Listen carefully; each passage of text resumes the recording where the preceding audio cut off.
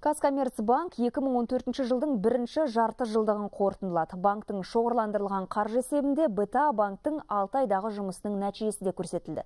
Сондай-ақ баспасөз маслихатында Казком мен БТАны біріктіру үдерісінің қалай жүріп жатқандығы айтылды.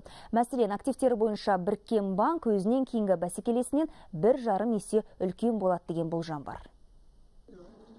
Биыл 30 маусымда казком бтаның жай акцияларының 46,5 пайызын сатып алды. Самұрық қазына бтаның қалған 4,26 пайыз акциясын осы банкке басқаруға берді.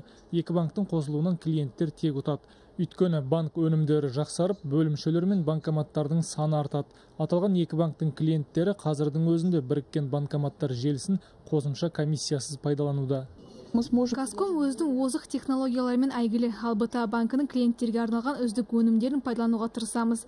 Біз екі банкте сараптама жүргізіп клиенттер біріккен банктың пайдасын анық сезінетіндей ұсыныспен нарыққа шығамыз. Екі банктің интеграциясынан кейін қазақстанда сенімді және тұрақты қаржы институты пайда болады. Біріккен банк активтер несиелер мен депозиттердің таза көлемі жағынан қазақстандағы ең ірі банк болмақ. Я думаю в смысле банк секторына да оң әсер етеді. Менің пікірімше біріккен банкті құру ұлттық банк пен үкімет қойып отырған талаптарды орындауға мүмкіндік береді. Яғни банк жүйесіндегі жұмыс істемейтін несиелердің үлесі азайып банк секторын сауықтырады.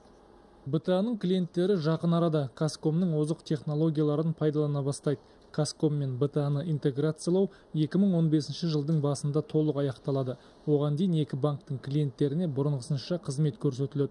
Банк өнімдері мен бұған дейін бекітілген келісім шарттағы барлық талаптар екі банк біріккен соң да сақталатын болады. Ұлан нарынбек серік бақпаев алматыдан.